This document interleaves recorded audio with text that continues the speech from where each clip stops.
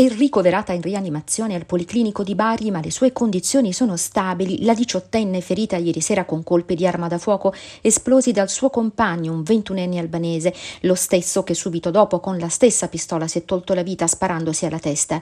L'episodio è accaduto subito dopo le 19.30 in un appartamento all'interno di un recinto in via Martin Luther King a Cassano delle Murge.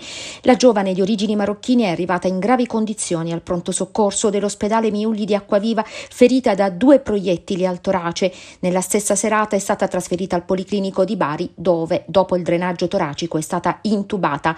Sull'episodio indagano i carabinieri della compagnia di Altamura coordinati dalla Procura di Bari. Si cerca di capire il movente del gesto del giovane albanese che lavorava come piastrellista.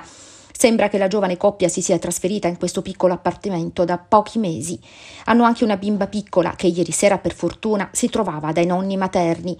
La pistola con cui il ventunenne avrebbe sparato la convivente e con la quale si sarebbe poi suicidato è stata recuperata dagli investigatori. Si tratta di una calibro 7,65. Si cerca di capire se si tratta di un'arma detenuta regolarmente.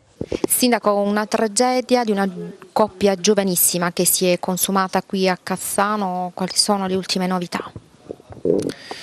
Le indagini sono in corso, non abbiamo ulteriori elementi rispetto a quelli che si conoscono, anche noi come ente stiamo cercando di capire se, di saperne di più su questa famiglia, di queste due giovani vite e abbiamo anche appreso che c'è pure una, una, una, bambina e questo mi ha ferito molto. Eh.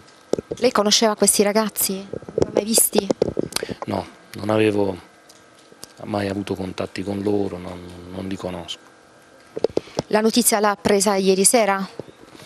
L'ho appresa ieri sera sul tardi, ripeto, purtroppo stamattina stiamo cercando di saperne di più e siamo tutti sconvolti.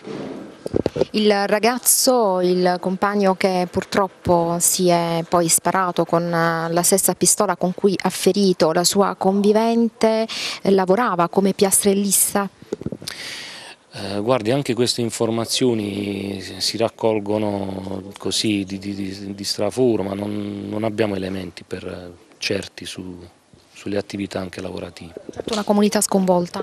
Sì, sì, questo sì, perché Cassano comunque è una città molto bella, i suoi cittadini sono persone stupende, da sempre si è distinta per l'accoglienza, già dagli anni 90 diverse etnie, tra cui anche quelle albanesi si sono ben integrate nella nostra città.